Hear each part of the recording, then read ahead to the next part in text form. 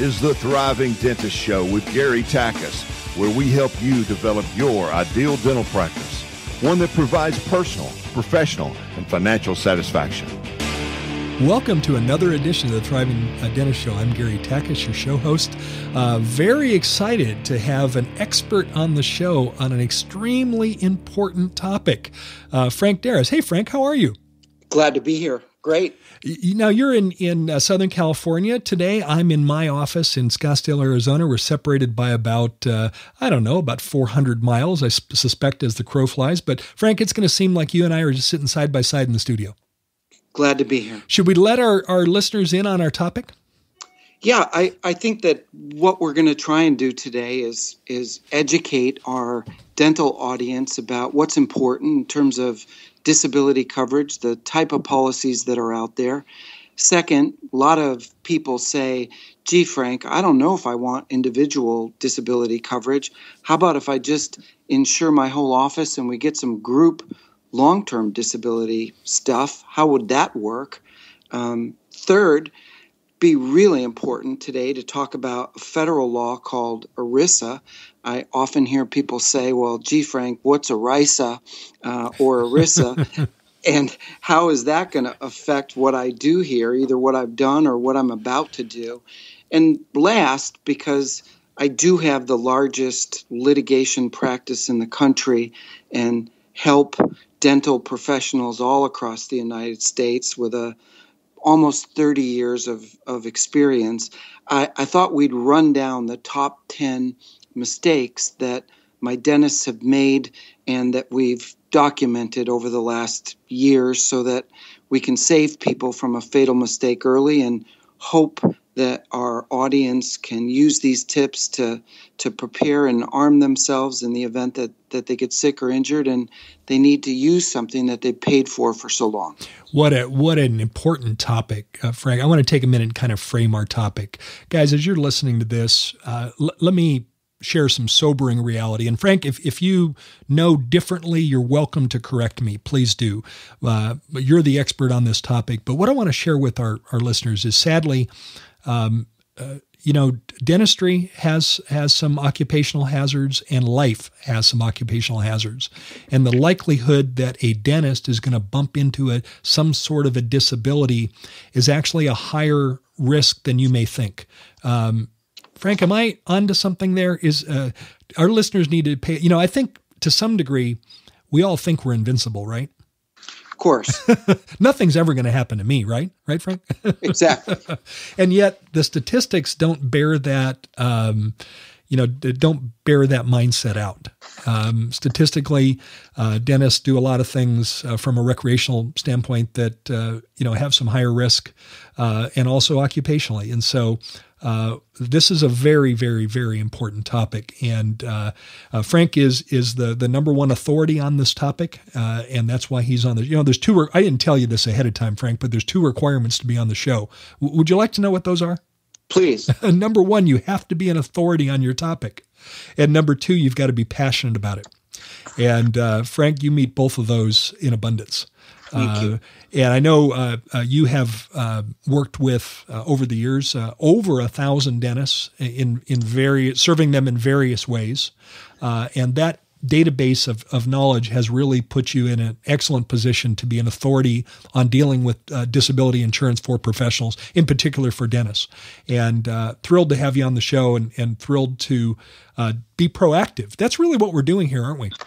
You know, it, it, it's so important, and you and you touched on it. You know, uh, accidents happen, and you know, every 17 seconds somebody's injured at work. Uh, every 19 seconds somebody's injured in a car accident.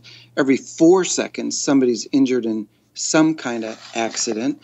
And when you couple that with sickness, and and you look at the reality of of chronic problems and you know we look at gee you just have to be a customer a consumer to sit in a chair and watch your dentist crook or crane or look to the left or look to the right if they're a stand-up dentist or a sit-down dentist and arms away from the body and holding a, a drill and that drill's going 40,000 RPMs mm-hmm, next to mm-hmm. my vocal cord.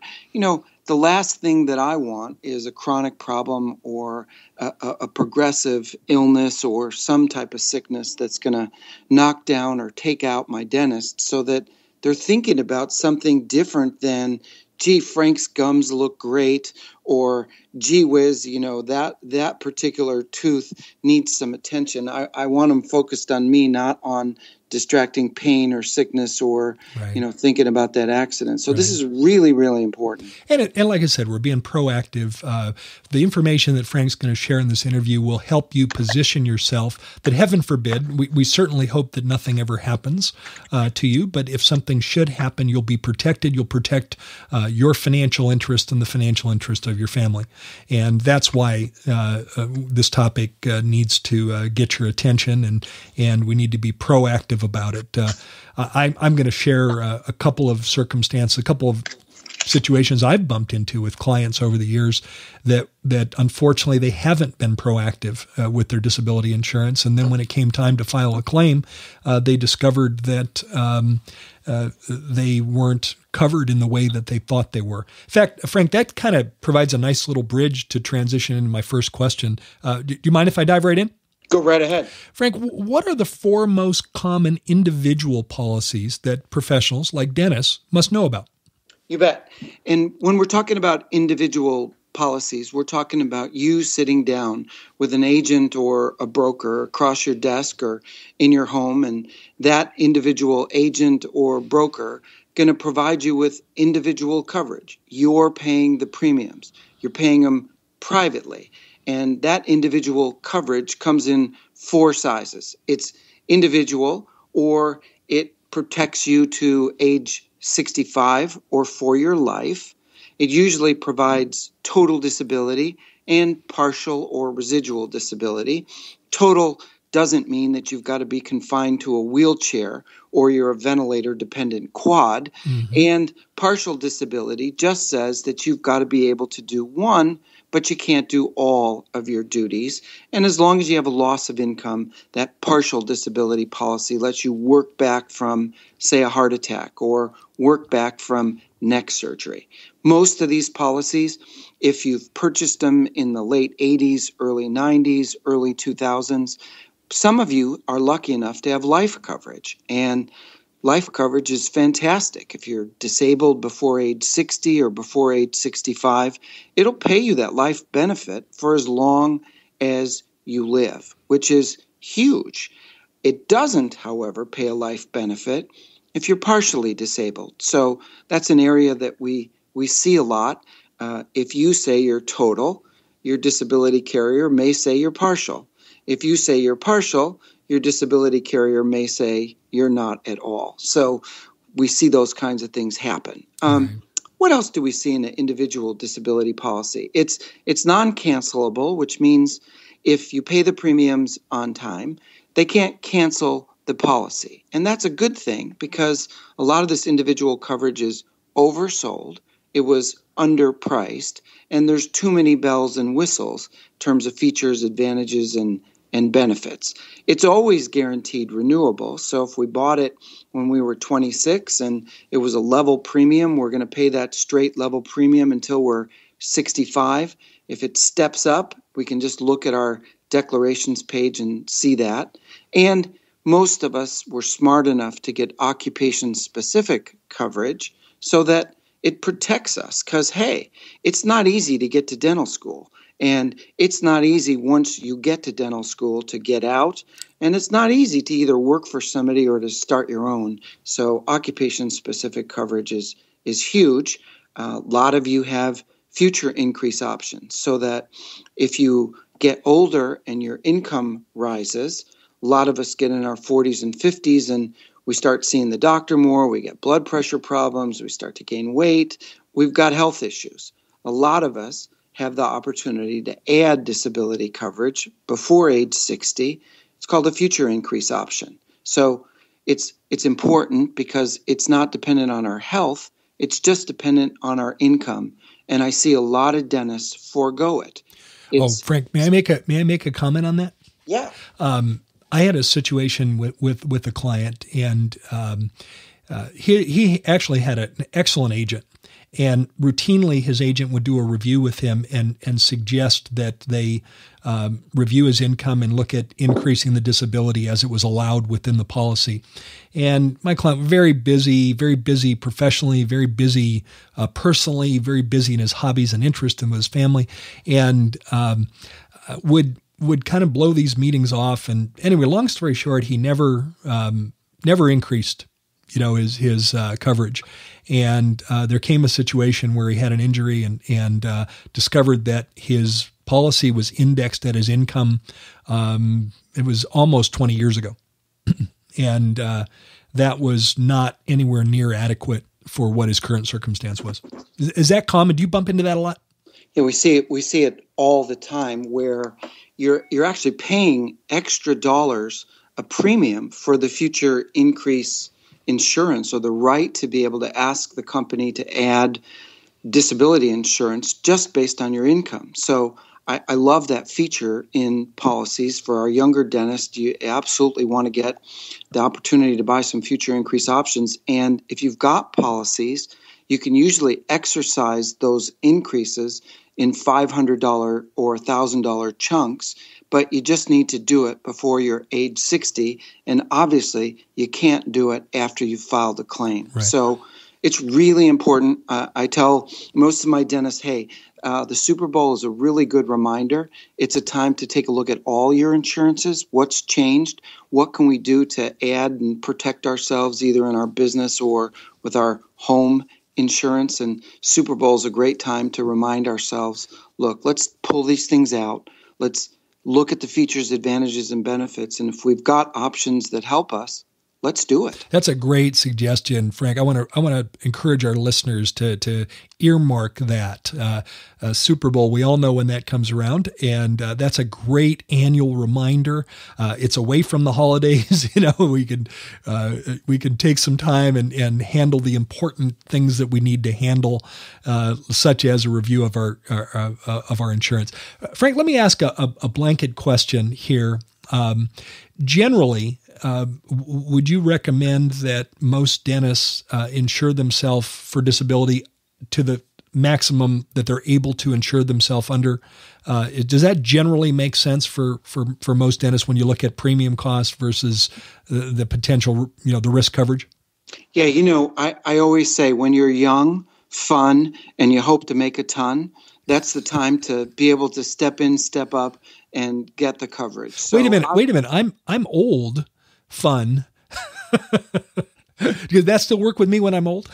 yeah, you know, you can you can always buy disability coverage. I mean, even if you're you're in your uh, early 60s, you can still right. find companies out there that will insure and write you. You can still get group coverage for the office, but you know, if you're coming out of school and you've got an opportunity to buy a starter policy, you know, 2000, 3000, 4000 a month. And you've got future increase options of say 7000 10000 so ultimately you're going to have a policy that will provide 15 17000 a month in tax-free disability benefits. I mean that's what we want. We want to be able to maximize the amount of coverage for the least amount of premium. And that happens when you're young right. and you don't have a long medical history or a tail of prescription drugs that a carrier looks at, says, hey, you're not preferred, we're going to have to charge you more, or you've had these problems, we're going to have to rider out that thumb, or we're going to have to rider out your neck. Mm-hmm. Or for my ladies, you know, they've had endometrial problems or, you know, female issues that the carrier says, hey, sorry, uh, we're not going to be able to ensure normal pregnancy or C section pregnancy. And those are difficult. So, right the younger you are, the sooner you can get it, the most that you can apply for honestly. Uh, we want to we want to make sure that we're getting that. That way, no matter what we do, uh, we can certainly have enough coverage to protect our family and our lifestyle. Right. You know, uh, uh we, have covered door number one. Let's go to door number two on those four most common individual policies: uh, business overhead expense coverage. Can you talk a little bit about that? You bet. Uh, the business overhead says if we're sick or injured and we're totally disabled, that we should have insurance that will take care of our expenses while we're recuperating from an accident or a sickness. The, the last thing we should be worrying about is how am I going to pay my staff? How am I going to keep my supplies coming in? How am I going to pay the rent or the mortgage? And business overhead expense does that. It does it for when you're totally disabled, and it does it for a shorter period of time if you're partially disabled. You can get business overhead expense coverage for 3000 a month, 5, 10, 15, 50, 100. You know, I've seen it as high as 250,000 uh, a month. It usually only lasts for 12, 18, or 24 months. Okay. And you have to be careful because a lot of people make the mistake or they think it covers our replacement dentist.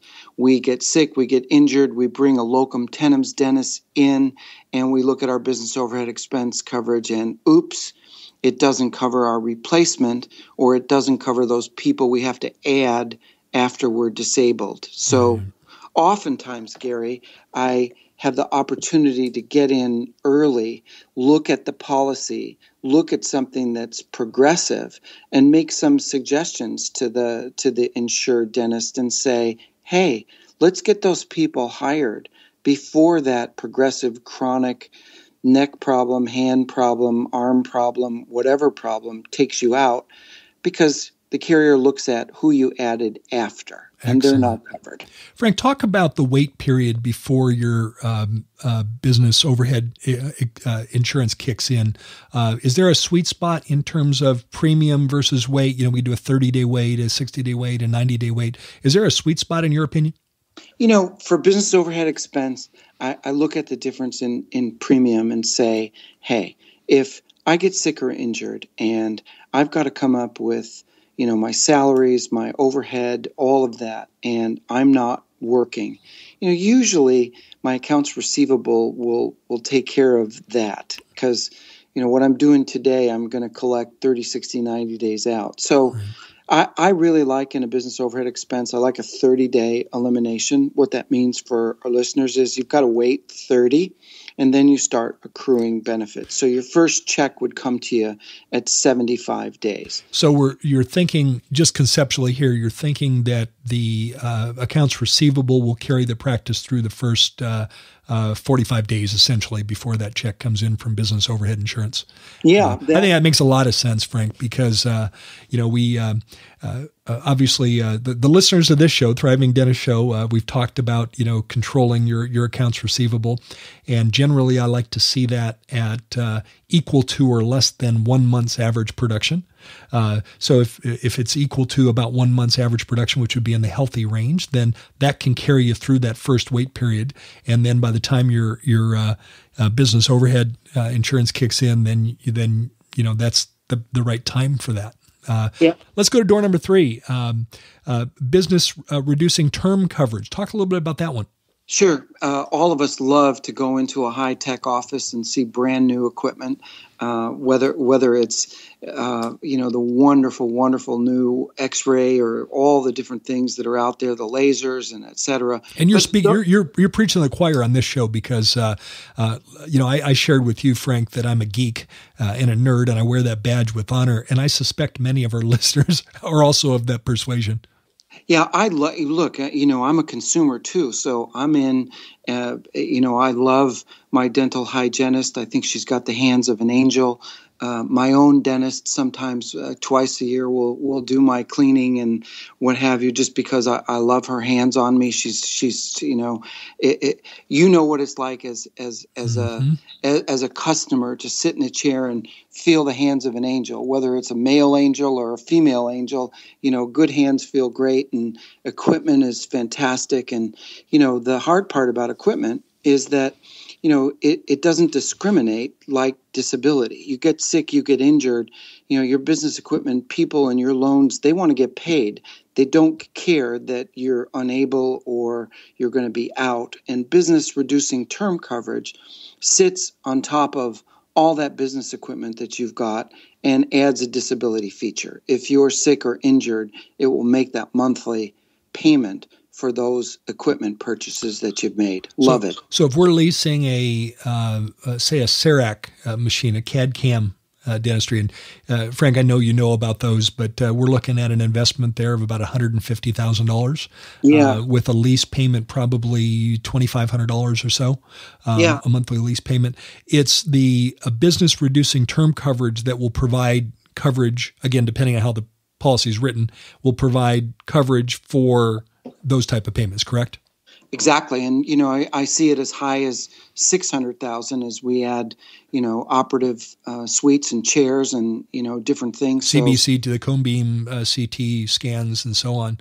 Yeah, um, I mean I get five five operative theaters and you know I've got two hygienists now. I got a seven chair office and you know we we can see equipment in the six eight hundred thousand dollar range that you know we want to make sure we're protected. Right, great, great. And then uh, door number four on on the four uh, most common individual policies, uh, disability buyout coverage. Talk about yeah, you know, one. it's it's one thing if we're arm's length and we've got a partner, you know, but I see a lot of uh, husband wife uh, practices where you know husband might be a little older than than wife and one thing leads to another sickness or injury requires them to stop and now we've got a half million we've got a one million dollar buyout if that partner becomes sick or injured and can't do their share anymore. I like it, uh, especially where I've got husband wife or I've got two dentists that that come together. You know, you, you, dentists are such an amazing group uh, as as a whole. They're entrepreneurs. They come out of school. They buy practices. They sell practices. You know, it it's it's amazing to me. And now I'm seeing just a whole bunch more husband wife mm-hmm. uh, practices out there, and and I like this as as a protector. Yeah, great. You know, uh, as we transition to the next question, one of the comments I want to make, Frank, and, and again, please correct me if your experience is differently uh, different than this, but a comment that I want to make to our listeners is that uh, it's been my experience that uh, most dentists know very little or nothing about their disability coverage. Uh, they simply bought a policy, uh, perhaps through some group or organization or uh, association, uh, and they don't know what they have. And uh, I really think that that's a dangerous position to be in. If you happen to find yourself in that position, we're going to have a suggestion for you as we go through this uh, this interview. But Frank, is is that the reality that you often see in the dental profession? That there's no, very little awareness of what they actually have, and in some cases, no awareness. Yeah, and it's not limited to my dentist. It's it's the reason that I got into disability insurance. I, I graduated law school. I got married, and the first thing that happened was an insurance agent said, "Well, gee, Frank, what would you do if you got sick or injured?" And I was like, "I don't know." And well, Frank, you need disability insurance. I had just been through law school. I'd taken contracts. I knew how to read a policy, and I got to the end and was like, "What? I what?" What what what does substantial and material duties at the onset of disability and non-cancelable guaranteed renewable occupation specific coverage mean? It was a bunch of gobbledygook and legal and, and, you were and yet you were you were uh, I was ostensibly trained in this right? I mean I, I, I was a, a lawyer and it doesn't matter what specialty I'm, I'm looking at, whether I'm talking to my hygienist or I'm talking to my dentist or my oral surgeon or my endodontist, it doesn't matter. I go across the spectrum. Everybody knows that they've got some. Nobody knows what it is mm. or how to use it. Great point. Well, thank you for uh, confirming my suspicions. um, Frank, why shouldn't a listener just get a, a group long term disability coverage uh, for themselves and their staff? Yeah, you know, a lot of people uh, get confused about group coverage. You know, gee, Frank, it's cheaper. Gee, I can include my staff.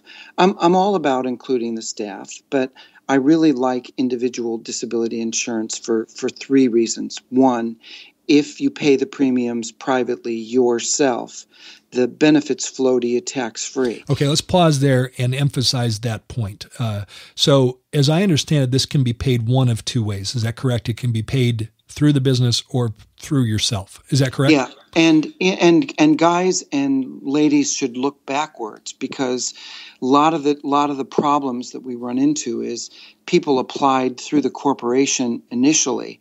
They paid the first couple three four checks through the corporation. Why? Because the corporation had been established and your disability insurer might have given you 20 or 30% more benefits at the beginning if you applied through the corporation for our newer crew of dentists, not so much anymore. Last 10 years, you, people applied individually, they paid individually, the benefits flow to you tax free. Mm-hmm. If you initially paid through your corporation, it'll say on the application you applied corporate pay.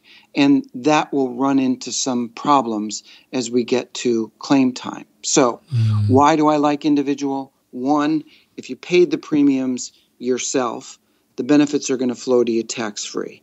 Two, individual policies have tremendous, rich consumer rights and remedies. So, in an individual policy, depending on where you live in the country, you're going to get a real trial by jury. That's important because it's a jury of your peers, where you live.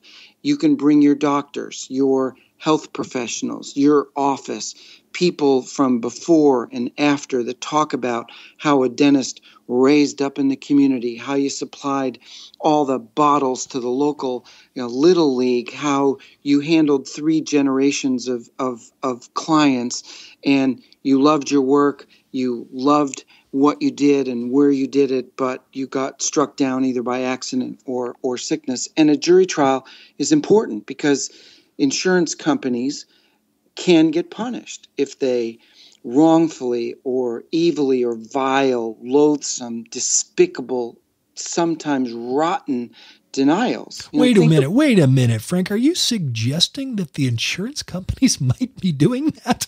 no, wait, I, I, can't even hold back my laughter on that. But well, we've got to have something that we've got to have a stick, a little equalizer, you know, little equalizer, and and somebody to be able to level the playing field. And I'm a promise enforcer. You mean a, you mean the insurance companies just don't gladly get out an open checkbook and and uh, and and hand the the disabled dentist a, a blank check and say, Doctor, we're so sorry you were injured or hurt. Just fill in this check for the amount that you want.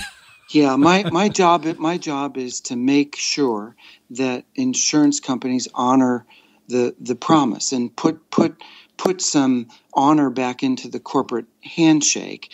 And it should be easy to pay, hard to deny. And that's the, the theme that we try and and encourage these major disability insurers. But but they, they don't do that. So mm-hmm. it's really important to have an individual policy where you've got individual rights and remedies. So, look, if you don't pay my disability benefit and my kids come out of private school and mama's got to sell our wedding ring and I've got to to to fire sale, you know, my my cars or my vacation home goes up or I'm going to lose my credit, I'm going to have to go bankrupt or I'm stained and I get behind and now I'm distressed and that's not what we buy.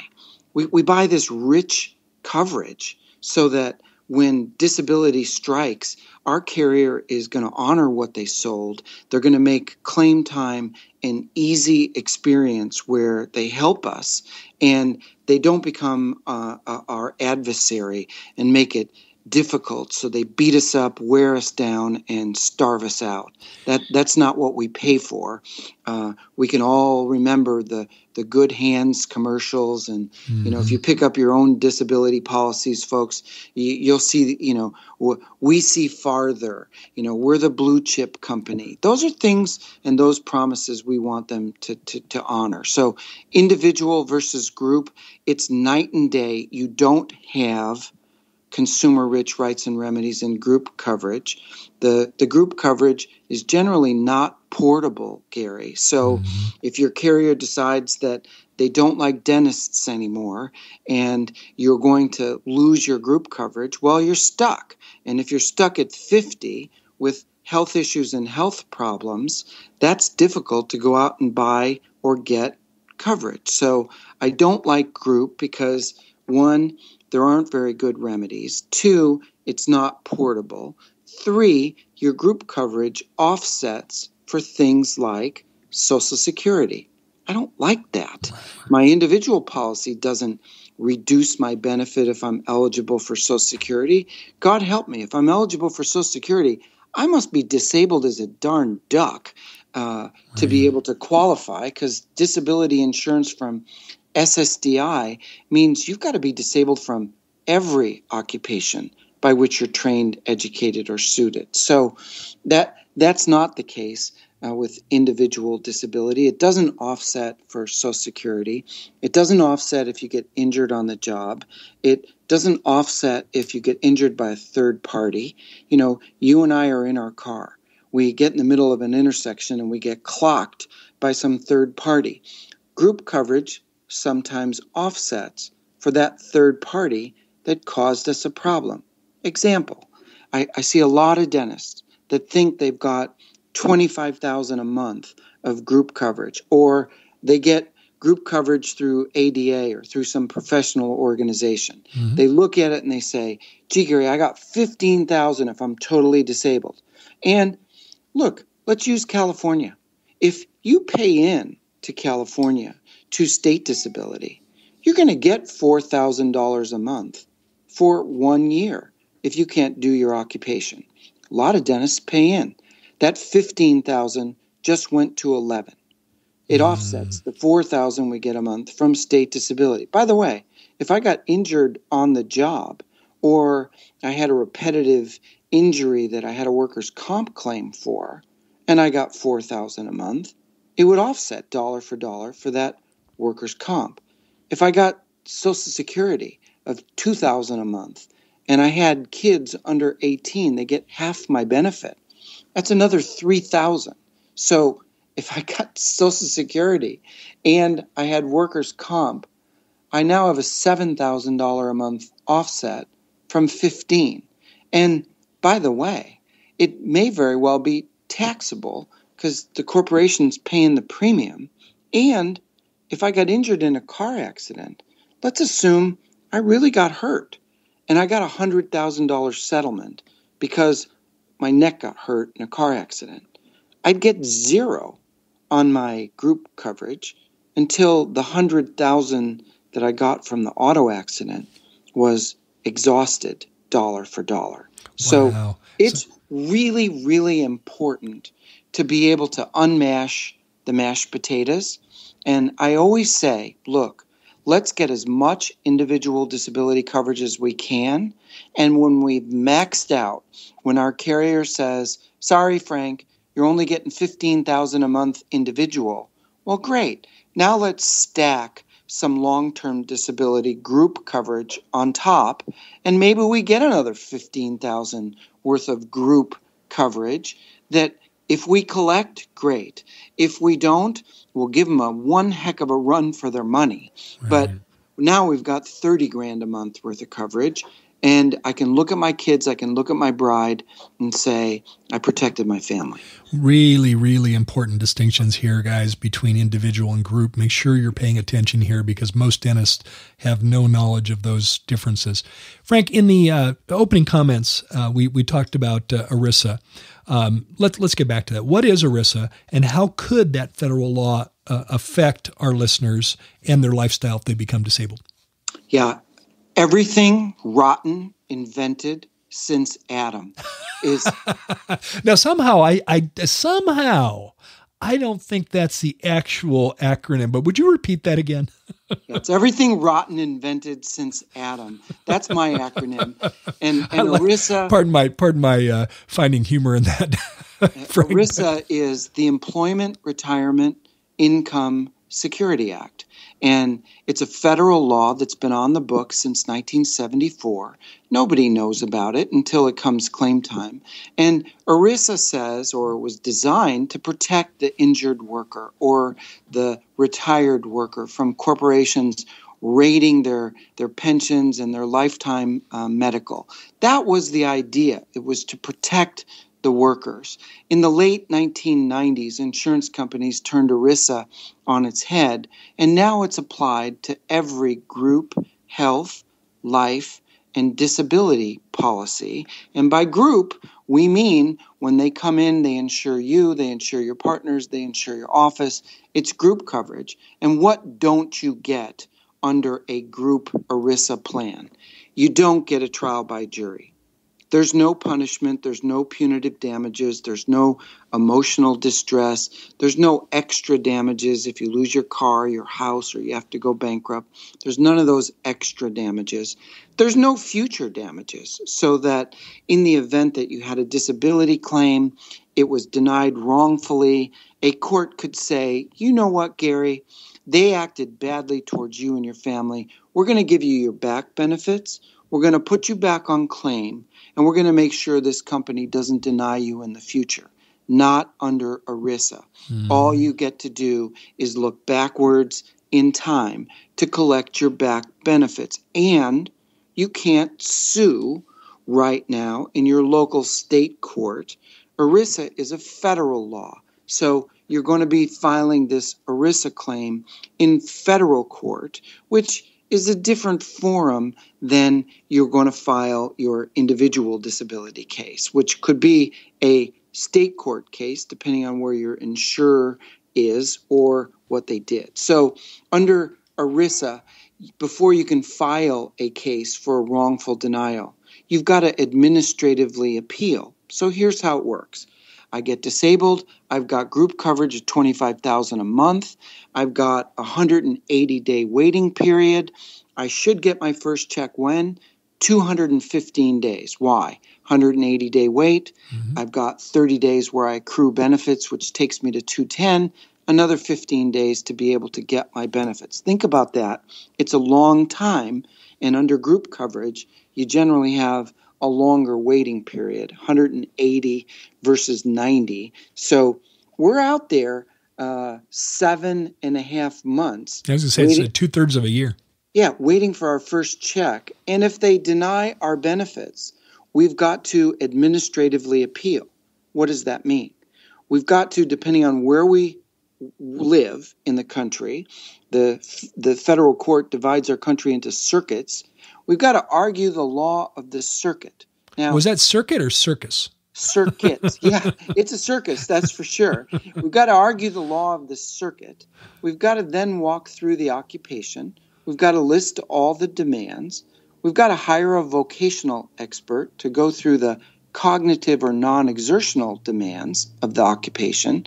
We've got to then go through the medicine to make sure that the carrier has all the objective and subjective.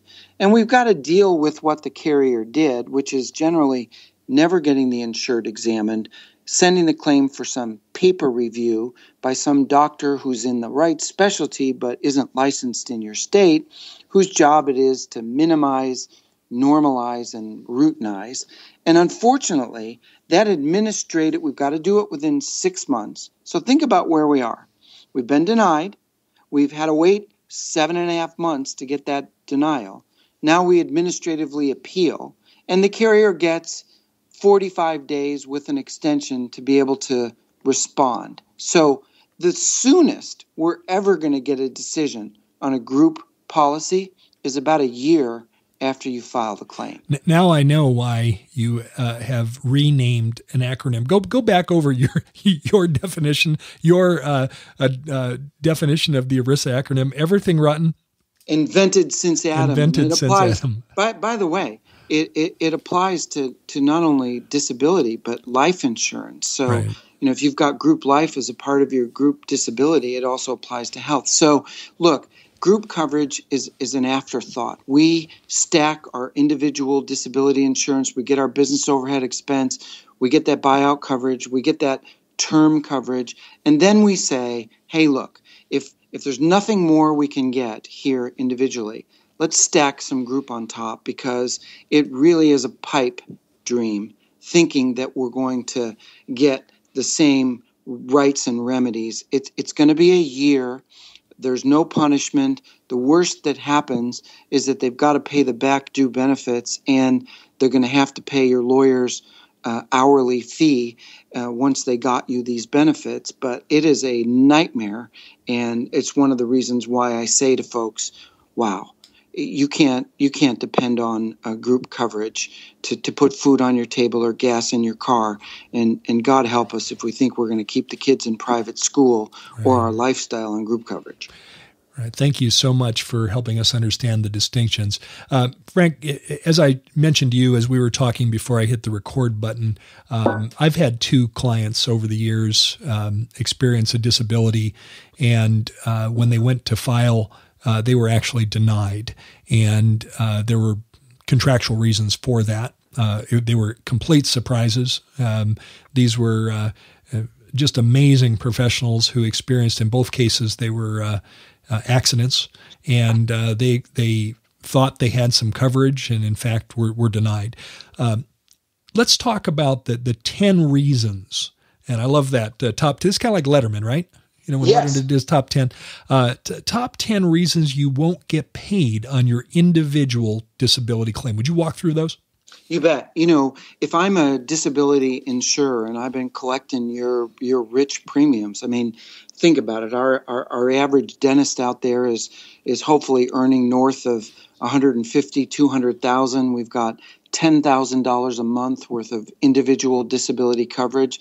Let's say that we're 40 years young and we, we get into an accident or we're sick and now we've got 25 years at 10,000 a month, we're talking about a $4 million claim. What's a carrier to do if you're legitimately disabled and they can't beat you on the medicine? Well, what's the first thing they're going to do? They're going to look and see whether they can take the policy away from you. How?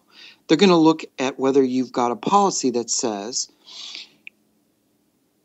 the information you provided was false it was a fraudulent misstatement, and they look back at the occupational, the financial, and the medical information on your application, and they see whether it was fraud. For instance, what did you make after business expenses for federal tax return purposes? If you look back at your application, I promise, if you look at your application right now that's attached to your individual disability policy, and you see round numbers 250,000, 450,000. You didn't look at the tax return to be able to see what you earned as reported for federal tax return purposes. It would be 449.51.75. You see round numbers. Nobody was looking at a tax return. And a carrier can come back 20 years later and look at the financial information that you provided and say, sorry, you fraudulently misstated your income. We relied on it. Too bad for you. We're going to return your premiums, but we can't pay this claim. And it could be not finances, it could be we hid, we concealed, the agent misheard, the agent misunderstood, the agent miswrote, the agent knew that we had some problems and didn't disclose it, it could be health problems. But an insurance company will first look at trying to reimburse you for the premiums and call it a fraudulent uh, misstatement. Huge. And you can look at it, folks, by taking a look at your policy and seeing whether you have under the contestability section, it's at the back of your policy, it'll say contestability, and it'll either say two years or it'll say accept fraud. If it's accept fraud, now we've got to take a look at that application and cover it. If it's two years, we're not out of the woods because the insurance company is still going to use that application to say, oh, gee, Frank, he was a liar, cheat, and a fraud. We don't want to take his policy away, but we want to put him at the top of the ugly tree.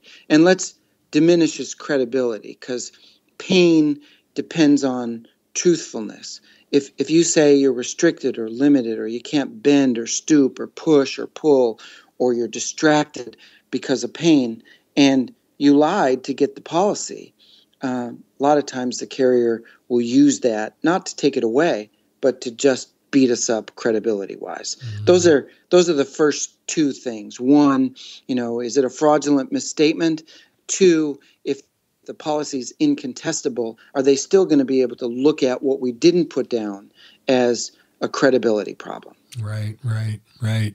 Well, so many details. Let's keep building on our list.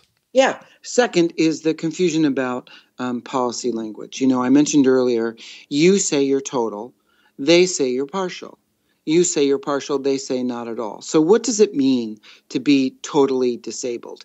You know, a- a- as a dentist, it just means that I can't do the important, the material, or the substantial duties in time spent or money earned.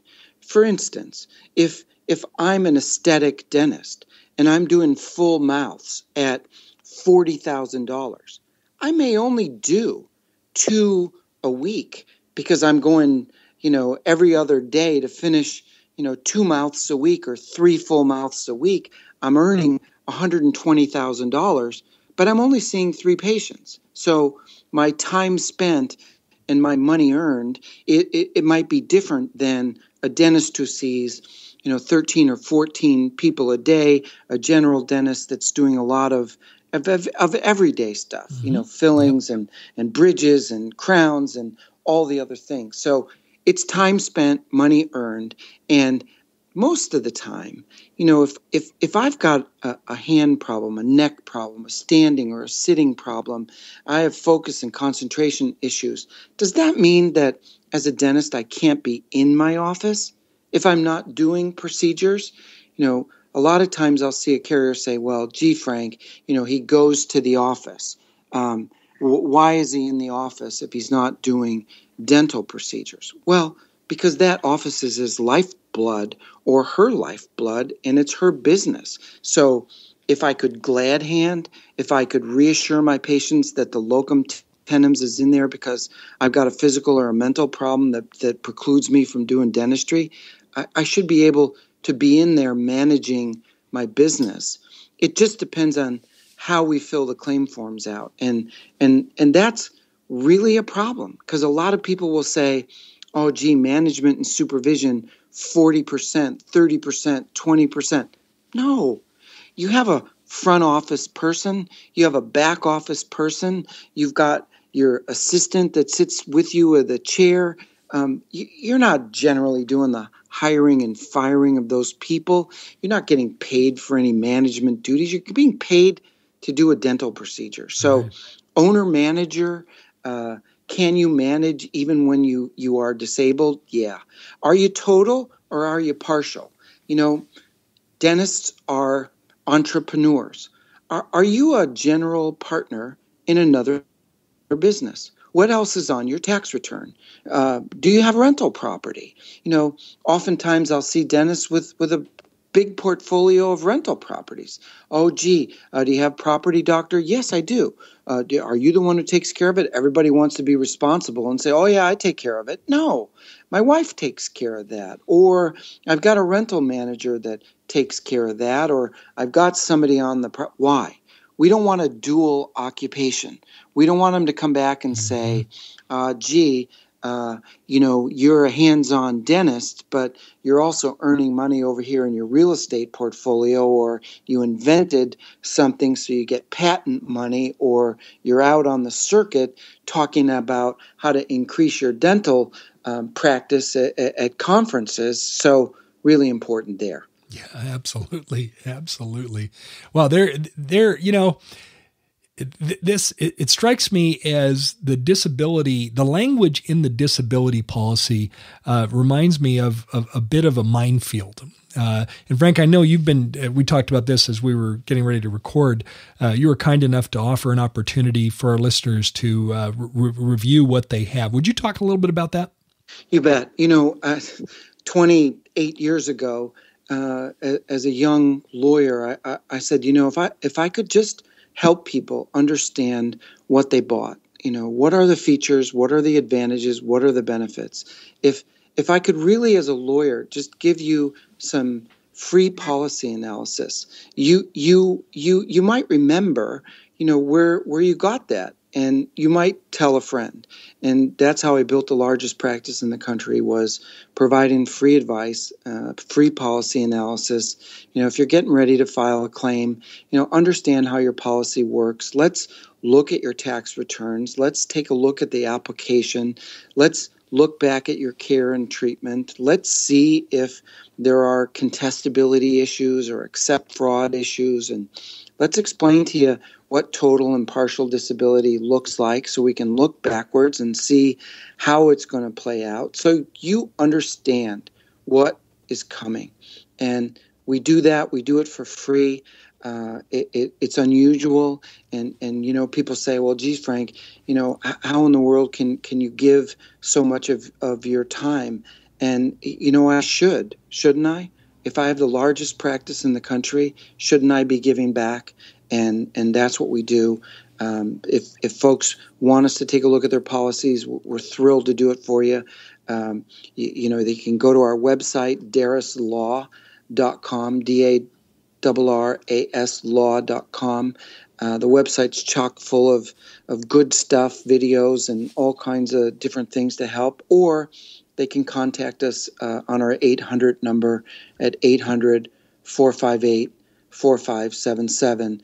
And it is free. It is so free and people say, "Well, what can we do for you?" You know, that's amazing. You know, what, think a good thought and tell a friend. hey, there you go. Hey, uh, Frank, I know that our, our listeners may want to reach out to you by uh, by email as well. Uh, and if you're driving as you're listening to this, do not take your hands off the wheel. I'm going to put uh, these uh, links to uh, Frank's website. Again, that was Darras Law, D A R R A S L A W dot com. And also put your email address in the show notes as well. Uh, Frank, uh, if, if, you wouldn't mind, share your email address with our listeners. You bet. It's simple. It's frank at darraslaw.com. Perfect. Uh, hey, Frank, I want to take a minute and just say thanks. Uh, you know, uh, I have a passion for this profession, for the dental profession, and I know you share that passion. And I want to take a minute and say thanks for being an advocate, and uh, thanks for all that you do to help dentists uh, uh, deal with situations when they get challenging here. And and I hope that our listeners will take this show to heart and be proactive and and and set themselves up uh, with proper coverage. Uh, hopefully, they never exercise it. Wouldn't Wouldn't it be wonderful if if they never exercised their disability uh, policy or never had to file a claim? That would be the ultimate goal. But in the event that something does happen, I just want to make sure you're protected. And Frank, uh, thank you for all that you do. Thank you for being an advocate for dentists, and uh, thank you for uh, for your wisdom. This has been very very helpful. I have about four pages of notes um, and I'll be talking to Paul and, and Tim, my uh, my business partners, to make sure that we have all these details buttoned down as well. Uh, so, uh, Frank, thank you, and thanks for all that you do. You bet. I'm I'm I'm so glad to be on the show, and and every time I look in the mirror, uh, I'm grateful to my dentist for my smile. what a great way to, to finish the show. Hey, as a regular listener to the Thriving Dentist Show, let me take a minute and say thanks to you. Uh, I appreciate you. Uh, there's a couple things you can do uh, to, to help us. As you know, the Thriving Dentist Show is free, uh, but a couple things that you can do. Number one, uh, you can tell a colleague about the show. would, would you likely have a colleague that's never heard of, of the, the term podcast. tell them about what a podcast is and direct them to the Thriving Dentist Show.